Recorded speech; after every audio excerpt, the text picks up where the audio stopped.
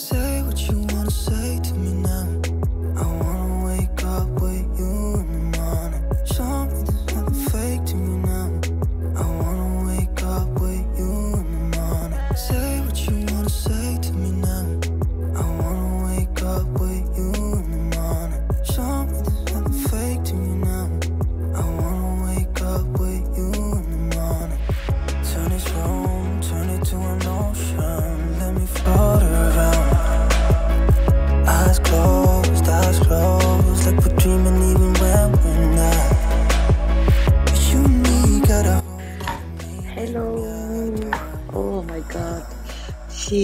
vraiment. euh, il fait froid. C'est le même jour que la vidéo précédente. Vous pouvez le voir. J'ai la même tenue. Euh, voilà. Et comme ce jour, il faisait froid, nous avons, euh, mon fils et moi, voulu avoir une soupe de pommes de terre pour nous réchauffer. Et je vous assure que c'était quelque chose, c'était merveilleux. Une bonne soupe. C'est lui qui a eu l'idée de cette recette et je lui avais promis euh, que nous allons la reproduire. Et ce jour, il faisait froid. C'était vraiment le moment idéal, le jour idéal pour la soupe.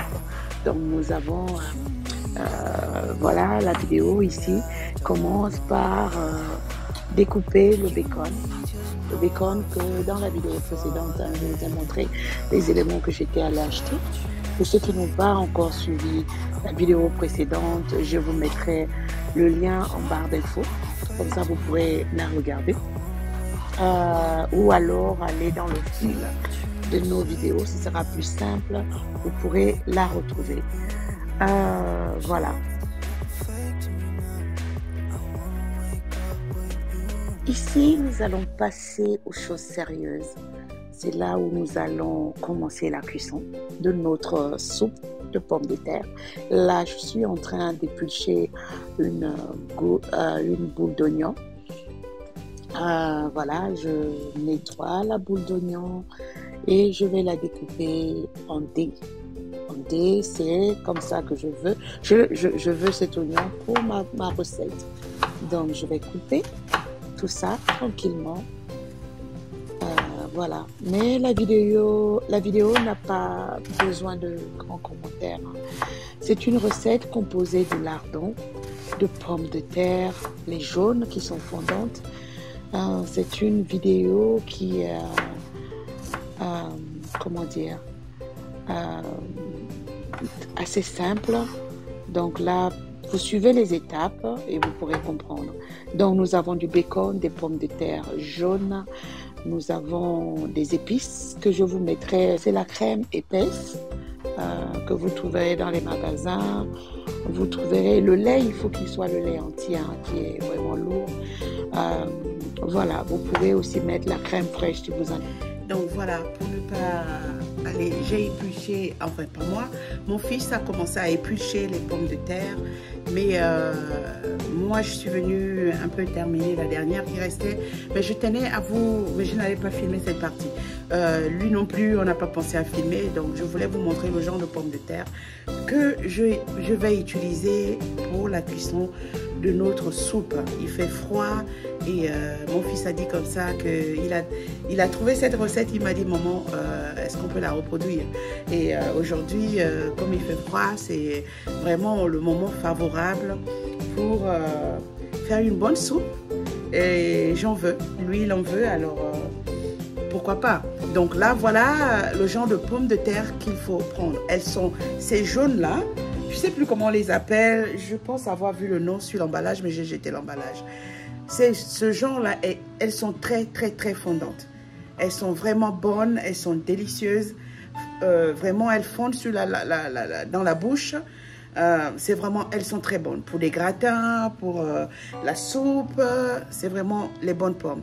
Il y a aussi un genre violet, les, pommes de terre violettes. Celles-là aussi, je, les, aime. Je ne sais pas, je connais pas le nom, sincèrement. Mais pour aujourd'hui, nous allons utiliser les jaunes. D'accord? Gardez cela à l'esprit. Ici, je vais euh, couper nos pommes de terre en petits morceaux. Pas des gros morceaux, mais des morceaux qui vont faciliter la cuisson. Et là, j'avais placé la casserole au feu, elle était suffisamment chaude. Je viens renverser le bacon dans la marmite pour euh, l'offrir. J'ai pas besoin d'huile dans parce que le bacon, tout le monde le sait, c'est suffisamment gras. C'est très gras. Donc l'huile du bacon, je tiens à frire mon bacon avec son huile. Et comme ça, l'huile que ça va dégager, je vais utiliser cette huile pour faire cuire mes pommes de terre. Donc là, le but, c'est d'avoir euh, laissé le bacon libérer son huile, son gras, et avoir le bacon, laisser le bacon se devenir euh, croustillant. Je veux le, cuire jusqu'à ce qu'il devienne doré et croustillant. C'est de cette manière qu'ici aux États-Unis, ils mangent le bacon.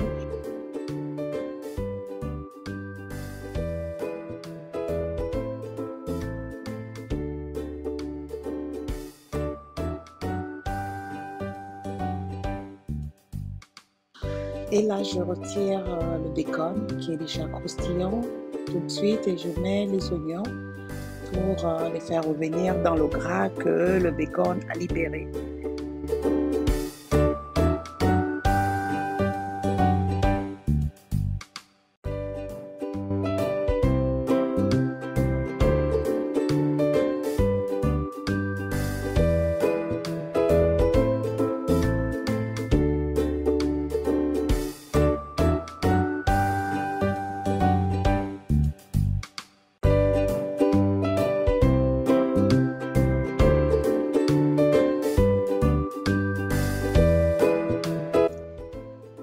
Je vais rajouter de la farine, euh, juste une petite quantité. Euh, dans mon, avec mes oignons, je mets euh, juste un peu de farine et je tourne.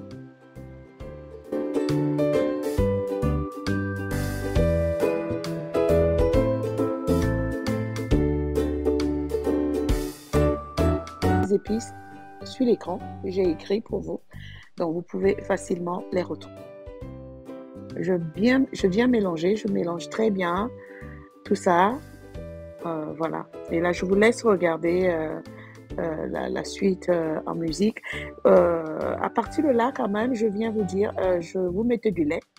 Parce que la suite, vous pouvez regarder en musique. Je rajoute encore du lait parce que là, je viens mettre le bouillon de poulet. Je rajoute le bouillon de poulet. Et plus tard, vous verrez que je vais rajouter encore du lait parce que je vois que la contenance, euh, euh, c'est pas assez pour la cuisson des pommes de terre. Là, j'ajoute du poivre noir dans ma, ma, soupe. Je rajoute et là, je viens remettre les pommes de terre. Je viens mettre les pommes de terre et je vais mélanger tout ça. Vous verrez, comme je vous le disais, que après avoir mis les pommes de terre, je me rends bien compte qu'il n'y a pas assez de liquide pour cuire mes pommes de terre. Dans ce cas, je vais remettre du lait. Comme vous le voyez, je remets du lait.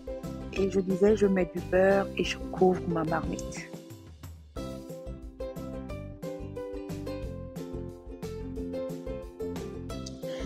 Et là, je viens rajouter, voilà, cette crème. C'est de la crème fraîche euh, dans, ma, dans ma recette, dans la marmite. Donc, je vais mettre euh, pas beaucoup, juste la quantité nécessaire. Voilà, je mets une fois, euh, deux fois. À chaque fois, je diminue la quantité que je prends. Et là, une toute petite dernière que je rajoute. Voilà, et je couvre encore une fois ma marmite pour laisser cuire tout ça tranquillement. Voilà, et je vous présente un peu soap cream, ce que j'ai utilisé. C'est ça. Et là, je reviens euh, à peu près 10 minutes plus tard, à feu doux, tranquillement. C'est en train de cuire. Déjà, ça donne envie de manger. Euh, voilà, ça donne vraiment envie de manger. La pomme de terre, elle est déjà cuite. Et je reviens maintenant, une autre fois, pour bien... euh, voilà. Je vais revenir, là je reviens, oui, une autre fois pour euh, euh, vérifier la cuisson. Et je mets du fromage à l'intérieur, du fromage rouge, euh, jaune plutôt. Et je mélange tout ça. Je mélange parce que le fromage, il va fondre. Il va fondre et j'essaie de casser les pommes de terre. Normalement, euh, vous devez mixer. Pour ceux qui ont le mixeur, vous devez utiliser le mixeur pour écraser euh, les pommes de terre parce que nous voulons une euh, une consistance un peu, vous voyez, un peu lourde pour notre sauce. Mais mon fils a dit, il ne veut pas que les pommes de terre soient trop cassées. Il ne veut pas. Alors si j'utilisais le mixeur, ça allait complètement casser les pommes. Donc je décide d'aller à la louche, tout, euh, doucement, en tapotant sur les pommes de terre pour essayer d'écraser un peu. Donc c'est ce que je fais là. J'essaie de suivre à la lettre les envies de monsieur. Donc, je casse, je casse les pommes de terre, je casse à la main. Voilà. Et là, c'est pratiquement prêt. Euh, après, la suite, c'est le dressage. Et le, dressage que je fais, c'est toujours pour monsieur. C'est lui qui mange ce jour. Vraiment, il a beaucoup mangé. Il était plein le soir euh, et même la soupe. Il n'a pas je disais que même la soupe, il n'a pas pu terminer. ok, donc euh, c'est ici que s'achève euh, notre vidéo. J'espère que vous avez aimé, que vous serez nombreux à la reproduire. Euh, en attendant la prochaine vidéo, please take care.